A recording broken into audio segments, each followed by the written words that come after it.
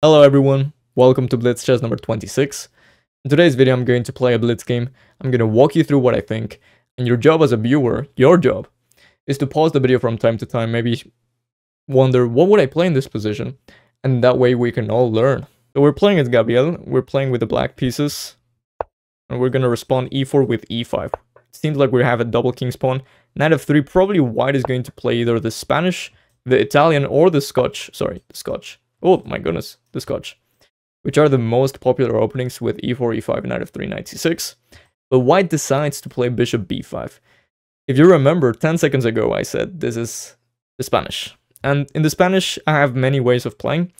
I was playing blitz games recently where my opponent went a6 and after bishop a4, which is the main line, my opponent went d6 followed by f5. Now, I failed to study that. When you're playing chess, you should study the openings that come to your to your games, analyze your games. So given that I haven't stud studied that, I'm gonna go ahead and play something that I have been aware or I have been uh, I have studied before, I should say, sorry, which is knight g e7. What this is doing is I'm intending to develop my bishop by fianchetto.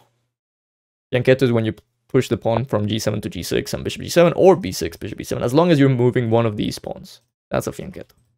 White castles, very logical. I'm going to play g6 now. I'm intending to play bishop d7. And once I finish development, which is what you should do in the first place when you're playing in the opening, I think I can start thinking about what plans should I go for, or should I should go should I go for an attack, or should I should I defend? Should I play for the endgame? All of these things. Now, bishop g5, g5 is a clever move by my opponent. This is kind of claiming that f6 is going to be difficult to achieve, first of all. Bishop f6 is a problem. And I have to play bishop g7 because if not, bishop f6 would be a problem, as I said. So bishop g7 I have I had to play. My opponent plays c3 now. And I don't know if you remember this, but let's rewind a couple of moves. White went d4 and after e takes d4, bishop g5. So white did not capture back. Which means that after bishop g7, all of a sudden, white sacrifices a pawn. Because white did not capture back. As logical as that. Now, is this good news for me? It depends. If white has enough compensation for the pawn, meaning if white has enough play to compensate for the lack of a pawn, then it means I'm probably going to have to defend at some point. But if white is just bluffing, meaning that probably that pawn is just a pawn, and I will be able to win the game if I just play normal looking moves, or, or you know, I, I keep control of the things, then, then yeah, I, I would win the game. So after that, I also have a third option, which is usually taking back or giving back whatever material you had in order to develop your own pieces. In this case, I think the equivalent to that would be castling, and after c takes d4, white does get back the pawn, but after something like d5, I have easy development. Um, I'm a little bit... Um, I think this is a little bit dubious from white, that's what I'm trying to say. So I'm going to take that pawn. I'm not going to believe what, what white is doing. Now, knight d5 is a big threat. Because if I castle, for example, knight d5, knight f6 is a threat. All of a sudden f6 maybe, uh, maybe I don't want to play that. Maybe I don't have any choice. I will end up doing that. Knight d5, I think f6, and I'm doing well. I'm not losing, which is good. Always good. And once again, I'm just trying to finish my development. White has what we call initiative or that pawn that I that I just snatched from them. If I play if white plays normal looking moves, white will eventually lose because well, white is just down a pawn and a pawn is a pawn. So white has to do something quite energetic. Now h3 doesn't seem to be a very energetic move. I think this is a mistake by my opponent. How do we make the most of that mistake? That's another question. I think I'm going to start with h6, asking a question, where's this bishop going to go? Is it going to go to h4, trying to, well, potentially getting a little bit trapped, or bishop e3, trying to double and create a battery against h6.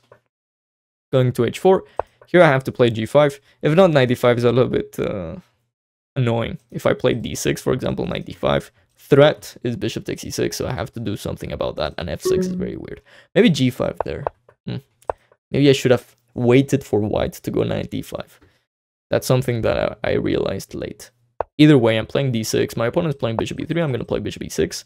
We are down on the clock. And if you've watched this series of videos, Blitz Chess, um, I have 26 of them. This is the number 26th. You will realize that I'm not very good at managing my time. I'm going to play queen d7. I have 15 seconds left. I'm to try to bring my rooks into the game. Something that I see happening all the time, especially in Blitz, Blitz, Blitz, sorry, is that once my opponents realize what, what's going on, and what, what is going on is that I'm, I'm running out of time, they play quickly.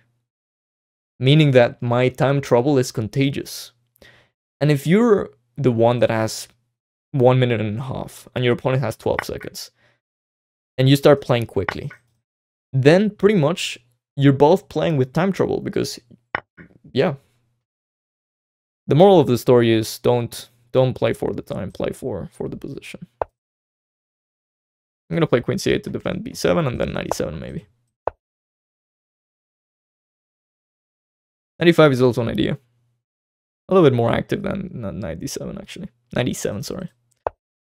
I'm gonna I'm gonna try to to not uh, not lose. So give me give me some time. Maybe 97 was better. I don't have time to speculate. Knight 6 f3 is a threat, kind of. I'm gonna play c6 now. Queen b3, I think I have knight g4. I like this transformation. One, because I get rid of a knight that was coming to f5. And two, a queen takes e4 is a threat. Short term. Um, I'm gonna play b6 and c5. Oh, that's ugly. Should have not do done this. Shouldn't have done this, I should say. Yeah, this is horrible. I'm gonna play c5, I guess. Okay. I was going to play c5, pretty much whatever, either way. I'm happy that white did not go rook ec2. I think that was pretty annoying. I'm gonna try to go queen b7 and d5. That's my only hope. But if that's not possible, then that's gonna be a problem. Okay, bishop e5 now. Trying to get d takes e5, of course. Bishop takes e3 is an idea. Okay, now I'm absolutely fine. Yeah, I was I was quite worried about my position there for a second. But now I think I'm back to back to business. I'm gonna create a battery here. I'm gonna try to triple Alekhine's gun. Maybe h5. Okay, I'm gonna go king g7, rook h8, flirt with the idea of h5. This is the part of the game in which, you know, everyone's going for for an attack. Because it's time trouble, so whoever creates an attack first or creates threats quicker wins, ultimately. I'm gonna do this, threaten rook dh6. Opponent doesn't do anything about that. I guess king f2, but g4. g3 is a threat. Is it? 27? I'm gonna play 27. I think that's the real threat. G takes f3? I don't know. I don't know what's going on. I'm gonna go rook f6 as possible. Rook g5. Rook f3 I take. Do I? I think so. Can't believe my opponent is still hanging on. Queen g3 may have been better there. I'm playing very poorly. I'm gonna go queen f4. If this rook... Oh my goodness, I'm, I'm hallucinating. I thought my rook was on g6. That's good. That's not good, sorry. Yeah, now now things are unclear. Wait, queen h2 was interesting? Oh, now I'm winning. Yeah. Because of rook d6. And queen c2. And queen a4. And queen b5. Rook c3. Queen a4. Oh, this is mate. There we go. Oh my goodness.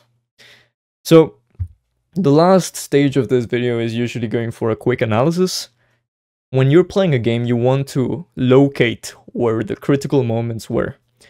So in this case, I think the crit critical moment was one part of the opening in which White already decides to sacrifice a pawn. White has to make this decision. In, this is a serious decision.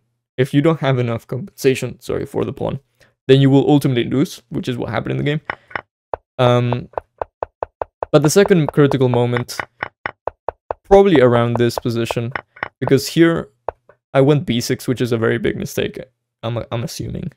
Uh, I think it just weakens c6 quite a lot, so after something like rook e c2, I would be in trouble.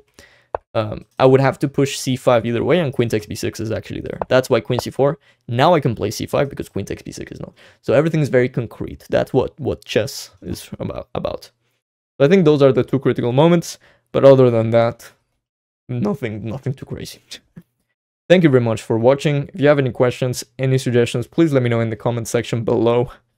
Um, yeah, I'm, I'm enjoying making these videos. I hope you're enjoying and learning from them. Please let me know as well. And yeah, subscribe or give a like. I would really appreciate it. Sorry, uh, watch another video. I mean, give a like as well. Um, I would really appreciate it. And I will see you next time. Have a nice day.